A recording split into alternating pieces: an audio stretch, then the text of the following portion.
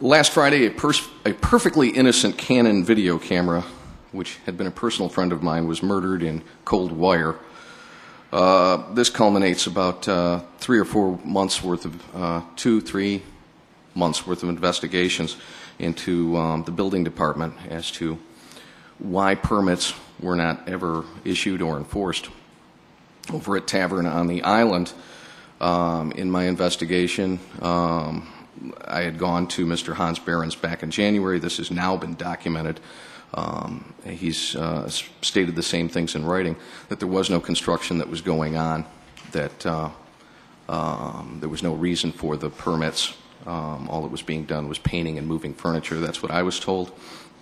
That was the basic gist of what Mr. Behrens reported to Marty Black in his written statement. There is no dispute at this point in time that construction was indeed taking place. Uh, the Code Enforcement Board has cited uh, um, Mr. Vellucci on four counts of doing construction uh, without a permit. Um, and he was just slapped with a stop work order last Friday for an entirely different section of this, that he did not have a permit.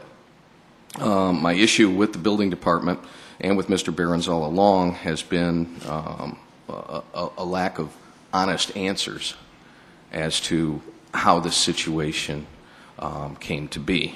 Uh, Mr. Behrens has stated both to myself and to Marty there was no construction. He had no knowledge of it. I have in my hand here a document from Mr. Behrens dated September 20th, 2007, in which Mr. Behrens writes, this is September.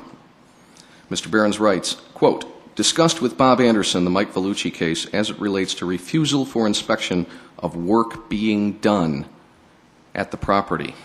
Results. Bob Anderson asked for facts to the case and request to investigate appropriate methods of conduct on our part to be researched by me, sending written request to him. Yesterday I stopped off at Mr. Anderson's office to see if indeed such a meeting had take taken place on September 20th, 2007, as this document would indicate. Mr. Anderson reported to me that yes, indeed, he did meet with uh, Mr. Behrens. However, the sole topic of discussion was the interlocal agreement with regards to inspections, farming out work to the county for inspectors that we have. Uh, he checked both his day planner and his billing notations. Three quarters of an hour he was with Mr. Behrens but at no time was Mr. Vellucci or Tavern on the Island mentioned during that discussion. Mr. Anderson stated to me that the first time that he had heard of Vellucci or Tavern on the Island situation was earlier this year, uh, I believe after I had um, started my inquiries. Um, if what Mr. Anderson is saying is true, uh, this would be falsification of city documents. Uh, moreover, this document by its date is the smoking gun that Mr. Behrens did indeed know that construction was taking place there.